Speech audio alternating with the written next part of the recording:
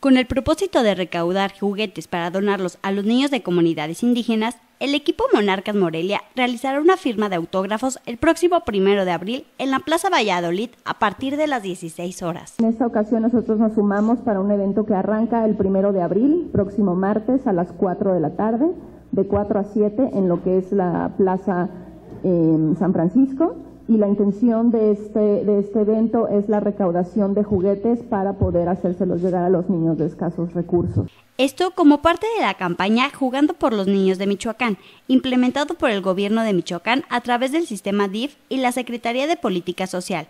Esto como parte de la campaña Jugando por los Niños de Michoacán, implementada por el gobierno de Michoacán a través del sistema DIF y la Secretaría de Política Social, que concluirá el próximo 26 de abril y tiene como meta recaudar 8.000 juguetes. Monarcas Morelia estamos muy conscientes de nuestro compromiso social y por eso es que vamos a llevar a los jugadores del primer equipo para que puedan estar intercambiando autógrafos por los juguetes que la gente que nos quiera apoyar, que quiera apoyar a esta causa, los estén entregando. Tesca Díaz, director del Fortalecimiento Comunitario Sol, agradece el apoyo brindado por el presidente de Monarcas Morelia, Pablo Boy. Por parte del gobierno del estado, en coordinación con el sistema DIF Michoacán, y de verdad agradecemos el apoyo generoso por parte de Pablo Boy que nos ha brindado para realizar esta acción en conjunto. Estos juguetes se donarán a los niños de la meseta purépecha y esperan el apoyo de las personas en esta campaña. La intención es